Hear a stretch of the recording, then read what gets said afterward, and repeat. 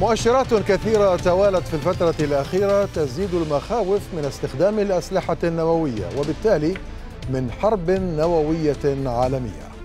فروسيا أرسلت أكثر من إشارة في هذا الإطار آخرها المناورات والتدريبات الضخمة التي تشمل أنظمة صواريخ يارس النووية البالستية العابرة للقارات والقادرة على حمل رؤوس نووية. وقبلها إعلان الرئيس فلاديمير بوتين بوضوح الاتفاق مع بيلاروسيا على نشر أسلحة نووية تكتيكية على أراضيها وعلى وقع تلويح موسكو المستمر بالتهديد النووي. هذه الخطوات الروسية تزامنت مع إعلان بريطانيا تزويد أوكرانيا بقذائف مزودة باليورانيوم المنضب. هل تتحول التهديدات النووية إلى واقع؟ من يتخذ الخطوة الأولى؟ ومن يردع في المقابل المخططات النووية. لمناقشة هذا الموضوع معنا من موسكو أستاذة العلاقات الدولية في الجامعة الوطنية الدكتورة أولغا كراسينياك ومعنا من واشنطن كبير الباحثين في معهد هادسون والضابط السابق في الاستخبارات العسكرية الأمريكية مايكل براجنت. مرحبا بضيفي دكتورة كراسينياك مرحبا بك معنا في غرفة الأخبار. يعني لماذا هذا الإصرار من جانب الرئيس بوتين ومسؤولين روس آخرين على التلويح بالنووي؟ ليس فقط باستخدام الأسلحة. الآن هناك هذه التدريبات الصاروخية الاستراتيجية في في سيبيريا هناك نقل لأسلحة نووية تكتيكية إلى بيلاروسيا. الرئيس بوتين منذ بداية هذه الحرب وهو يقول لدينا خيارات أخرى من بينها النووي لماذا تصر روسيا على مواصلة التلويح بهذا السلاح الذي في حال تم استخدامه يتوقع البعض أن يفنى هذا العالم بأسره ما رأيك؟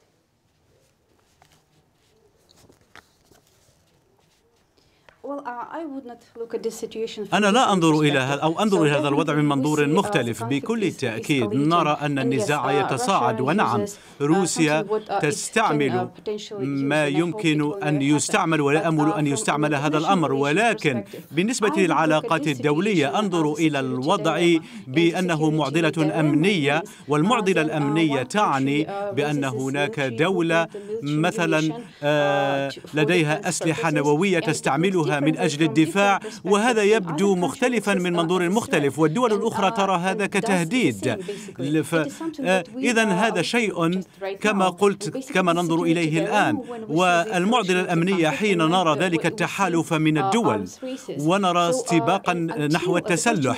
إذا ما لم تحل المشكلة ف وما لم يتم وقف سباق التسلح هذا ولم يكن هناك ردع. طبعا نحن لا نعرف الأجوبة على هذا بعد. ولكن نحن نأمل بأن لا يحدث هذا الأمر لأنه لو حدث فسيكون بين الولايات المتحدة وروسيا وكما قلت إنها معضلة أمنية. معضلة أمنية ولكن يعني البعض يتساءل لماذا التلويح بهذا الشكل المستمر باستخدام هذا السلاح. سيد بريجنت مرحبا بك معنا. ما رأيك؟ الدكتورة كراسينياك تقول هذه معضلة أمنية بالنسبة لروسيا. قوة نووية تشعر بخطر وجودي. هناك تحالف غربي ضدها في هذه الحرب وبالتالي هي ترى أن من حقها استخدام كل ما هو متاح لديها للدفاع عن نفسها للدفاع عن وجودها ما رأيك في هذا المنطق Well, this is a show of force. This is أعتقد بأن Is this for, for me or for Dr. Olga? سيد بريجنت السؤال لك Okay, sure, sure. نعم، حسنا. كما قلت إنه أظن بأن هذا الكلام آه، من بوتين بقدرته أو اراده رغبته في استعمال السلاح النووي. فهذا السلاح يصل إلى حوالي 65 ميلا. آه، فيمكن مثلا أن يضرب أوكرانيا من أي مكان في روسيا فليس هناك مشكلة. هذا أظن أنه لردع الغرب ولردع الناتو وحتى ليحرك 3000 من القوات الروسية الروسية أو أيضا أنظمة الأنظمة النووية التكتيكية في وقت قصير. هذا أيضا يظهر بأن بوتين يائس للفوز في أوكرانيا. فهو لا يستطيع الانتصار بأسلحة تقليدية وبالمدافع وبالهجمات الصاروخية. إذا هو يهدد باستعمال السلاح النووي التكتيكي. لو استمر الناتو في دعم الجيش الأوكراني. أعتقد بأنه كما قلت إنه عرض للقوة فقط. وأعتقد بأنه يمكن ردع بوتين ولكن آه، أظن بأن هذا سلاح قوي في الغرب فالإدارة لا تريد التصعيد بكل تأكيد والناتو لا يريد التصعيد. وسنرى ما إذا كانت الولايات المتحدة والناتو يعتقدون حقا بأن بوتين سيستعمل هذا السلاح في أوكرانيا. دكتورة كراسينياك ما رأيك؟ هو فقط استعراض للقوة مجرد محاولة للترهيب للتخويف لأنه كما يقول السيد براجنت الرئيس بوتين على ما يبدو غير قادر على تحقيق الانتصار بالأسلحة التقليدية وبالتالي هو يلوح باستخدام آه، آه، هذه الأسلحة النووية هل تتفقين مع ذلك؟ لا أوافق على هذا التصريح بأن روسيا لا يمكن أن تنتصر في هذه في هذه الحرب التقليدية. بالتأكيد روسيا تستطيع فلديها موارد كبيرة. هي لا تعتمد على أي دولة أخرى. وفي هذا التصعيد الذي نراه آه، أظن بأن من ينتفع بهذا التصعيد هم بريطانيا والولايات المتحدة. وفي هذه الحالة فاحتمال استعمال السلاح النووي أو القوة النووية أعتقد بأنها أنها على الطاولة وينبغي النظر فيها. ولكن بكل تأكيد مهما اتخذ الأمر لروسيا لتحقيق أهدافها فأظن بأنها كما قلت على الطاولة. ولكن دكتورة كريسنياك إذا كانت روسيا قادرة على تحقيق أهدافها من وراء هذه العملية العسكرية كما تسمى عندكم لماذا التلويح بالنووي؟ إذا كانت هناك إمكانية وأنت تقولي روسيا لديها مقدرات كبيرة آه، باستخدام الأسلحة التقليدية لماذا التلويح بالسلاح النووي بشكل مستمر.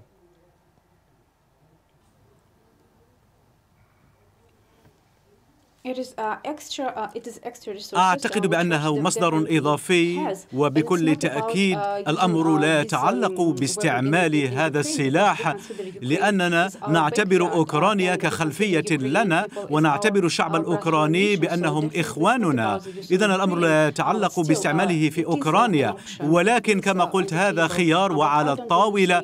ولكن لا أعتقد بأن أوكرانيا ستكون الهدف. من سيكون الهدف؟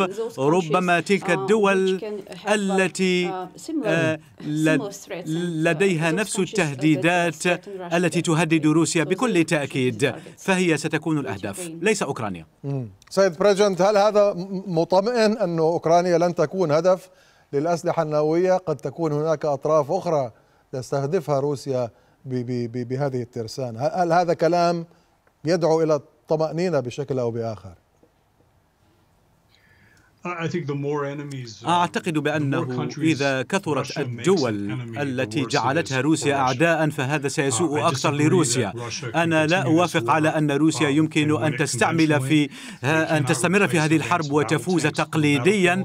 فلا يمكن مثلا استبدال الدبابات ولا الطائرات ولا أيضا السفن فهم يعتمدون الآن على الأموال الصينية والذخائر الصينية واعتمدوا أيضا على المساعدة السيارات الإيرانية. الروس هي باقتصاد تريليون و900 مليون دولار وهي مثل تكساس. فلا يمكن أن يستمروا في هذه الحرب وهذا يجعل بوتين خطيرا.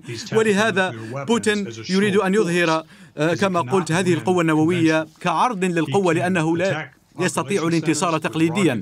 هو طبعا يستطيع مهاجمة المدنيين بالصواريخ ولن أكون متفاجئا لو أنه لجأ إلى أسلحة كيماوية أو بيولوجية حتى يصعد ثم طبعا ليخف التصعيد.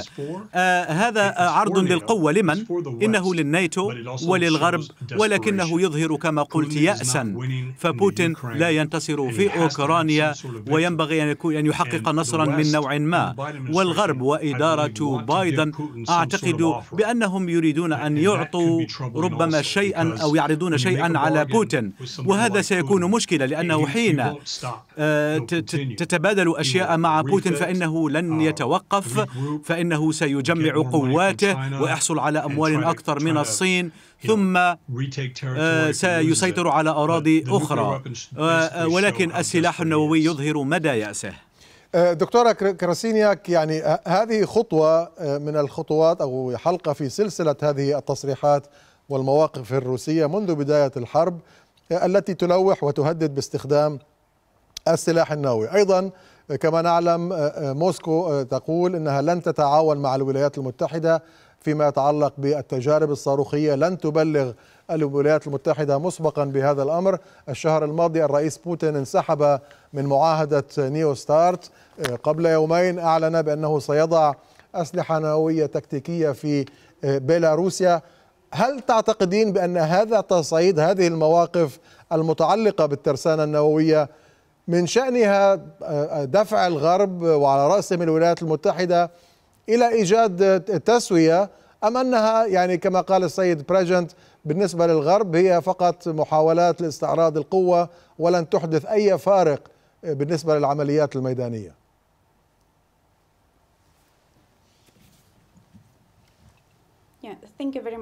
شكرا جزيلا. أعتقد أنه سؤال وجيه جدا ولكن أولا أرد uh, أو أسأل ربما ضيفك من واشنطن. آه، ماذا ستكون مصلحة الولايات المتحدة في هذا النزاع؟ uh, الولايات المتحدة هي uh, أول منتفعة بكل تأكيد من هذا النزاع. وفي هذه الحالة بكل تأكيد روسيا راغبة طبعا في مفاوضات سلمية والجلوس على طاولة المفاوضات ولكن ولكن فقط بشرط وهو حين يتم أخذ آه، بعين الاعتبار المصالح الروسية. الأوروبيون والاتحاد الأوروبي بكل تأكيد من مصلحتهم أن يفهموا ما تريده روسيا. ولكن هذا ليس في مصلحة الولايات المتحدة لأن ينظروا في المصالح الروسية.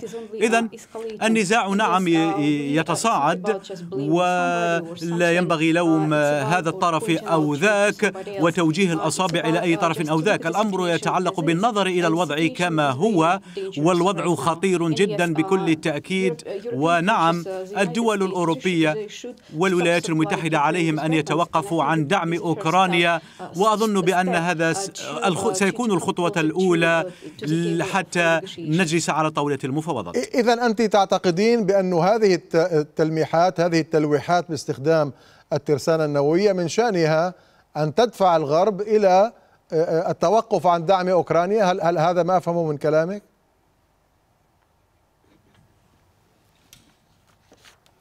Uh, uh, نعم.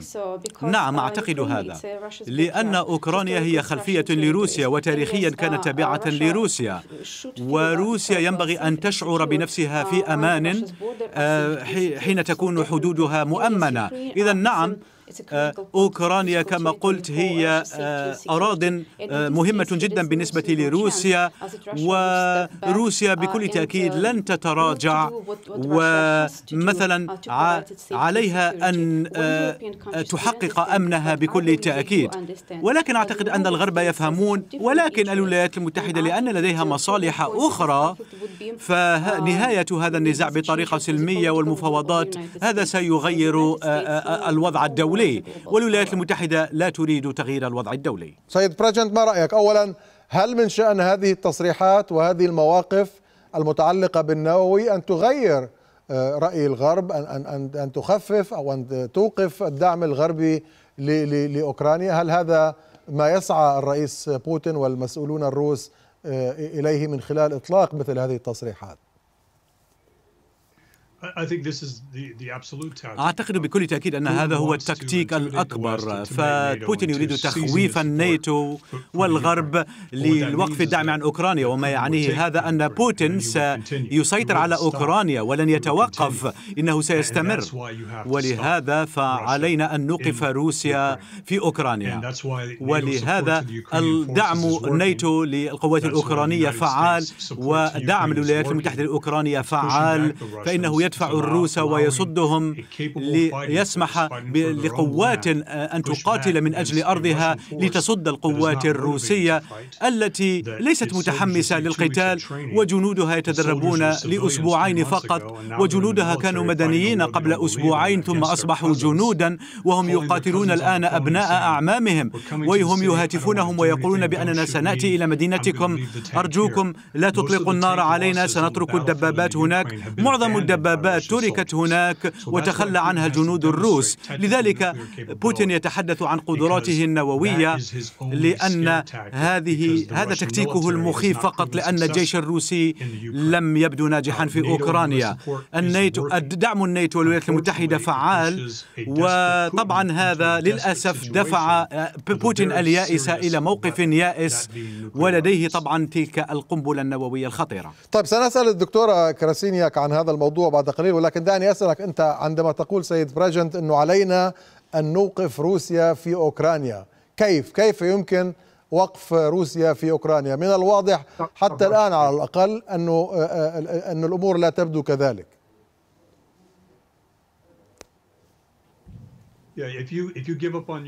مثلا إذا تخلينا عن أوكرانيا تخلى, تخلى الغرب عن دعم أوكرانيا بعد دعمها لأشهر ولعام. وبعد أن استرجعوا أراضية ما نوع الرسالة التي نرسلها إلى الدول الأخرى؟ دول الناتو الجديدة أو تلك الدول التي ليست من الناتو والتي أيضا بوتين يراها بأنها أهداف لغزوة. علينا أن نوقف أو على الغرب أن يوقفه الآن. وهذه أفضل فرصة لوقف بوتين وفي أوكرانيا لأن القوات الأوكرانية تنتصر. فهي طبعا قوة أقل ولكنها عازمة والولايات المتحدة أكثر من أي دولة أخرى تساعدهم ومن الصعب مثلا أن نوقف كما رأينا من العراقيين والأفغانيين حين كانوا يقاتلون من أجل أراضيهم. فمن الصعب أن تقاتل عدوا حين يقاتل من أجل أرضه.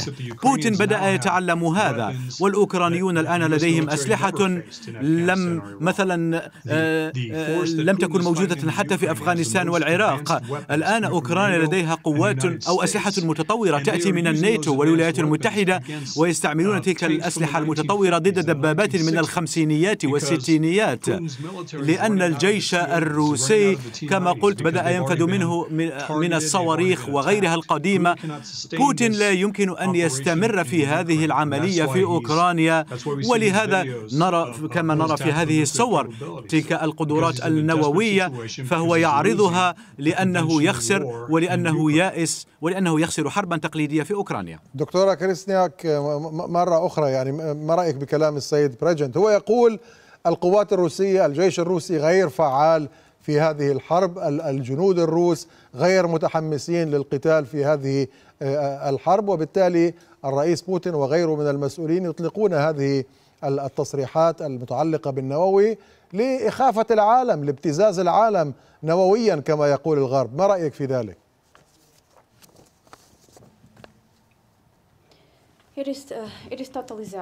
أعتقد بأنه العكس تماما. الوضع هو عكس تماما. وما يأتي من الجانب الأمريكي لا يمكن أن ينظر إليه فقط إلا في منظور استراتيجي إعلامي ولنشر المعلومات المضللة. حين يقولون إن روسيا ضعيفة وإنها لا تنتصر. إنه العكس تماما. إنه ليس تخويفا. ولا يشير إلى يأس الرئيس بكل تأكيد ولكن كما تعلمون فحين يتم الحديث عن عن الأمور في مرات كثيرة فهذا لا يعني أنها حقيقة. الفكرة هي بتوفير الأمن لحدود روسيا. وأوكرانيا كما قلت مهمة جدا فهي كانت جزءا من الإمبراطورية الروسية ومن الاتحاد السوفيتي أيضا. والناس الذين يعيشون في شرق أوكرانيا والذين هم موالون لروسيا فهذه أراضينا هناك وهم شعبنا. وتم تخويفهم من نظام كييف. في هذه الحالة روسيا ليست تخسر. روسيا واثقة تماما ولديها موارد كثيرة. وما قاله طبعا السيد بريجنت أعتقد بأنه معلومات قديمة ومعلومات مضللة. ولكن دكتورة كراسينياك يعني الآن نحن أنهينا الشهر الثالث عشر في هذه الحرب ودخلنا في الشهر الرابع عشر. ولا يبدو في الأفق أي ملامح انتصار. يعني حتى المناطق التي أعلنت روسيا ضمها إلى سيادتها لا لا تسيطر عليها بالكامل. وبالتالي يعني أين هي ملامح التقدم؟ وأين هي أصلا آفاق تحقيق مثل هذه الأهداف التي أعلن عنها من بداية الحرب؟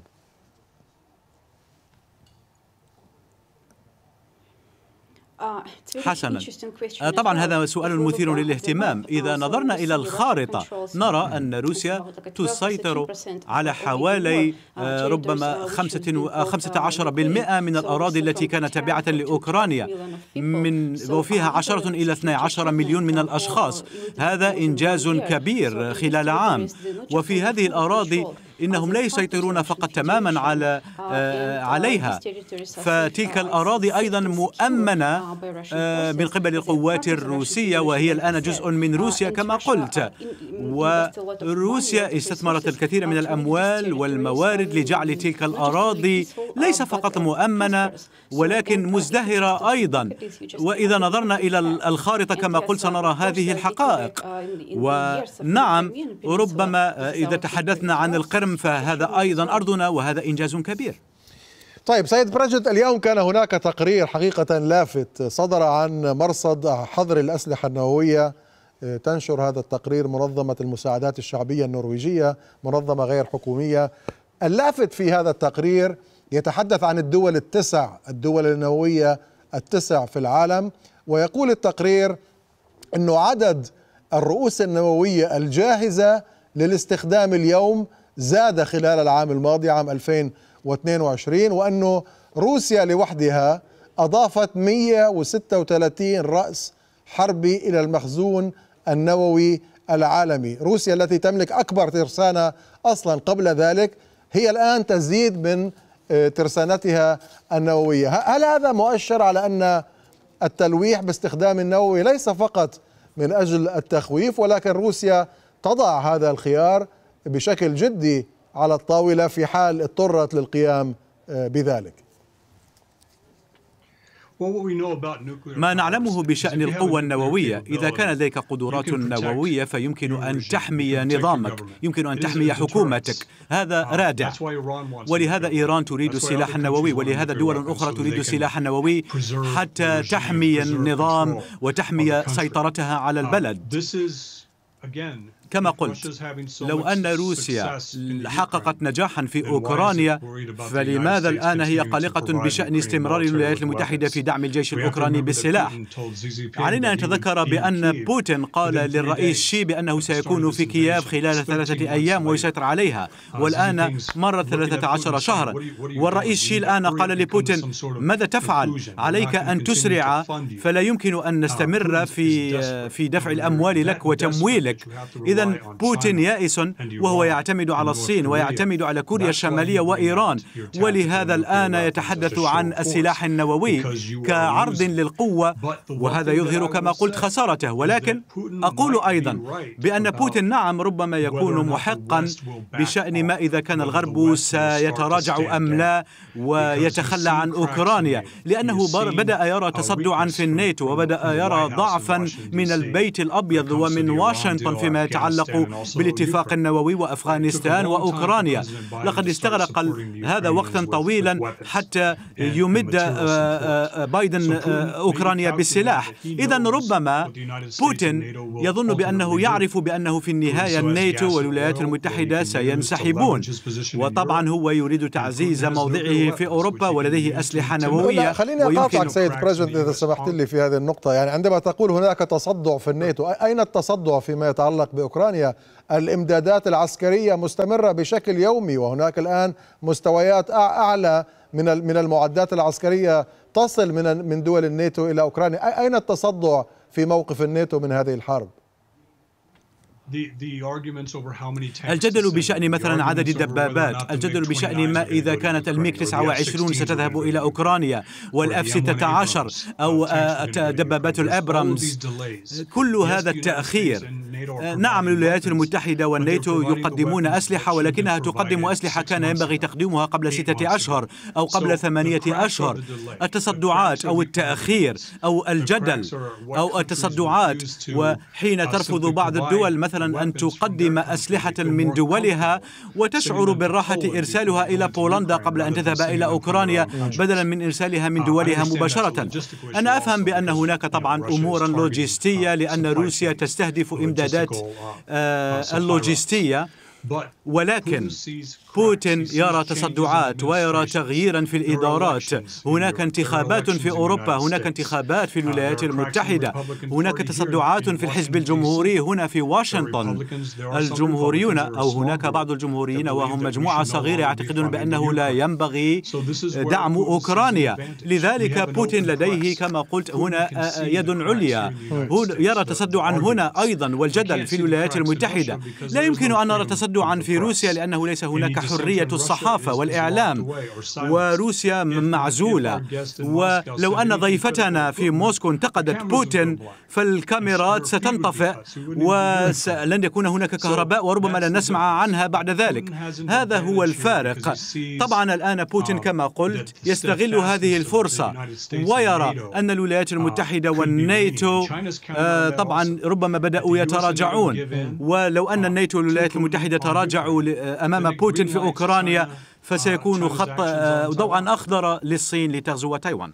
دكتورة كريسينياك في الوقت المتبقي ما رأيك؟ هل هذا ما يراهن عليه الرئيس بوتين؟ هو كما يقول السيد بريجنت يلمس تصدعات تباينات كبيرة في مواقف آه، أعضاء الناتو في مواقف الدول الغربية. هل يراهن على أن آه، الغرب بشكل عام الداعم لأوكرانيا سيصل إلى مرحلة ما يشعر فيها ربما بالإنهاك بالتعب بالكلفة المالية لهذا الدعم وبالتالي قد قد يكون هناك تراجع ما في دعم أوكرانيا، هل هذا ما يراهن عليه الرئيس بوتين؟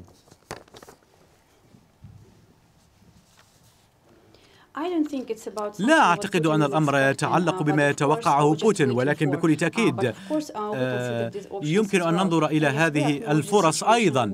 ومثلا في الاتحاد الأوروبي وفي الولايات المتحدة بكل تأكيد هناك ناس يفهمون الوضع وبكل تأكيد لديهم أيضا رؤية طويلة الأمد أي رؤية سياسية لكل الأمور الجيوسياسية. الأمر لا يتعلق يتعلق بانتظار التصدعات ولكن فقط للإعلام بأن الوضع لا يمكن أن يدوم إلى الأبد. والبعض في الغرب فهموا ذلك. نحن نعلم هذا الأمر ونحن ممتنون ليس لأولئك الناس وربما لكن للوضع الذي يحدث في مصلحتنا.